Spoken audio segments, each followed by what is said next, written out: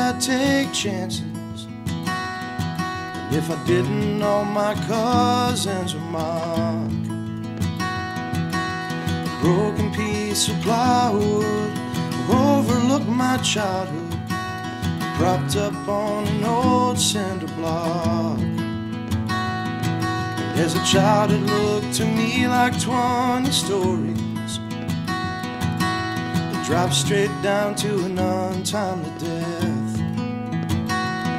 So I'd start up on the hill, I'd hit a pace that could kill.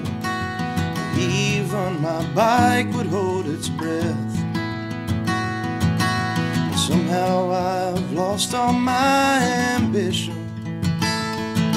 Cause I know I'd never try that today. But looking way back now, between the jump and the ground, it's the only time that I could ever say. You can stand there on the ground and let your fear keep you down. But you can pick up all your courage and fly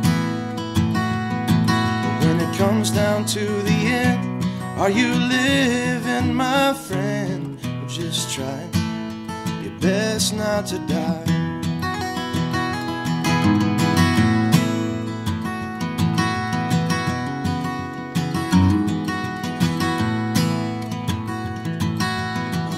I got two boys that are fearless. They scare me to death half the time between jumping off their beds, busting up their heads, light socket stuffed full of dimes. The youngest one climbed up the ladder, while the oldest one was screaming my name. I turned around just in time to see him dropping with a smile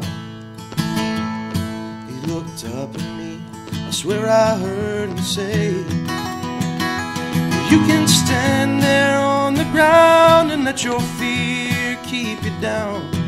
You can pick up all your courage and fly. When it comes down to the end, are you living, my friend, or just trying your best not to die? Cause every day that you're given brings you closer to being taken away. So you can stand there on the ground and let your fear keep you down. But you can pick up all your courage and fly.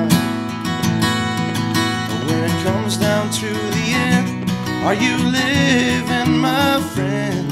Or just try your best not to die. When it comes down to the end, are you living, my friend?